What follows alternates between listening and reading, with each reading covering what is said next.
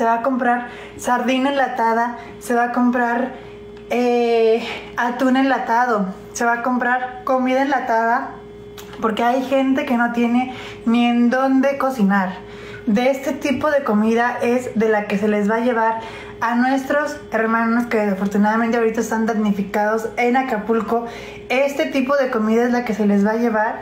También se les va a llevar agua purificada en botellas de plástico.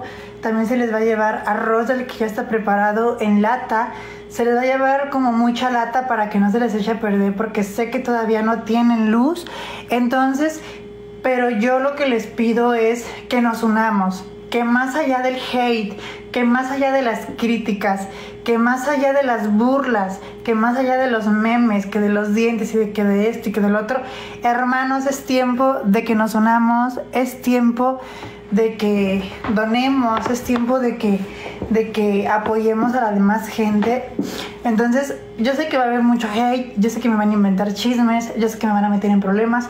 Estoy acostumbrada, soy una figura pública, estoy acostumbrada a todas esas dimes y diretes, pero ahorita lo que quiero hacer es publicar mi tarjeta, publicar el número de mi tarjeta, que me depositen, que me transfieren y con transferencia que se haga se va a poner aquí el ticket públicamente, como ya lo he dicho, públicamente.